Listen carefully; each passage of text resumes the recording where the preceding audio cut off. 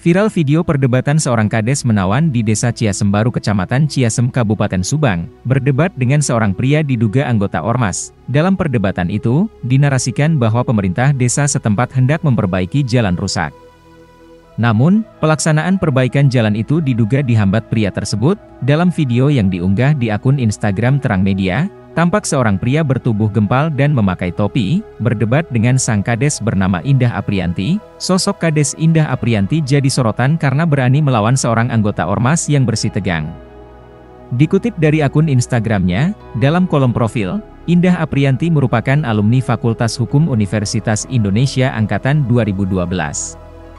Rupanya, bukan kali ini saja dia bersentuhan dengan dunia desa.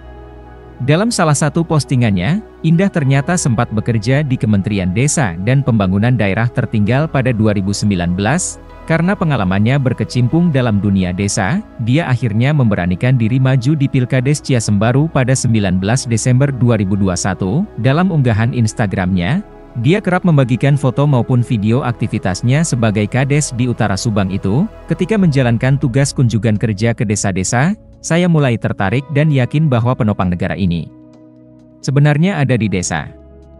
Ada rasa bersalah pada diri saya setiap kali saya kunjungan kerja ke setiap desa yang mendapatkan bantuan dan bimbingan. Padahal, di desa saya sendiri pun sepertinya masih butuh sekali bantuan. Dari situ, saya terpanggil dan menetapkan diri untuk kembali ke desa dengan bekal ilmu yang saya punya.